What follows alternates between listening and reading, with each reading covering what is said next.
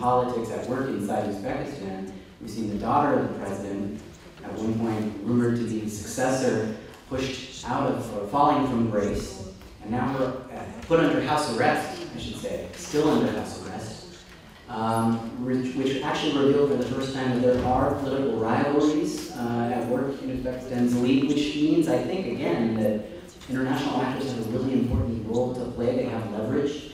Uzbek officials, including Karimov himself, crave legitimacy. They crave contact with the West.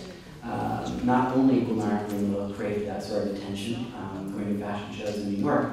So that's what we need. We need um, actual conditions, I think, placed on, on Uzbek government officials so that those officials in the security services who were responsible for your imprisonment who are responsible for extending the sentences of political prisoners, which I, I failed to mention there, as Catherine said, between 10 and 12,000 political prisoners in Uzbekistan.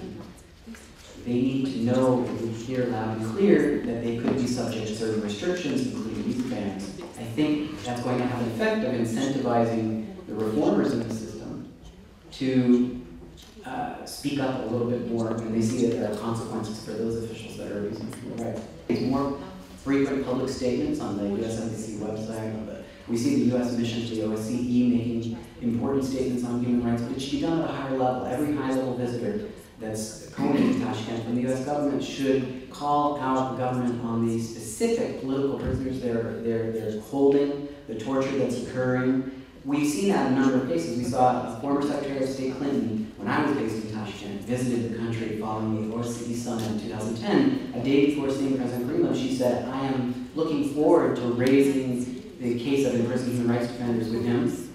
Lo and behold, the next day, I got to meet a, a, a dissident that was released from prison. So we see that more public pronouncements of the U.S.'s expectations could, could lead to some, some actual improvement. It gives, it gives a lot of opportunities to tie human rights concerns to the question of uh, military assistance, restrictions on, on, on, military assistance, and, and also uh, even some Central Asia experts are guilty of this. We've, we've often heard that the largest threats to Central Asia could emanate from Afghanistan, now from ISIS, first from the Taliban, now from ISIS. But really that obscures the, I think, the reality, which is that it's the severe human rights abuses, the thousands of political prisoners, the endemic torture, these systemic issues which could result in a catastrophic collapse of an authoritarian system that actually present the greatest risk to security in Uzbekistan and in Central Asia.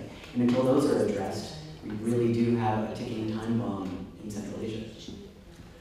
Thank you. We'll open it up now. So they're, they're investing in irrigation projects, um, there, the Asian Development Bank has, has projects in Uzbekistan. We've been urging uh, the boards of those uh, international financial institutions to use their, their voice and veto when it's appropriate, where there are human rights concerns. The IFIs have a, lot, have, have a large role to play.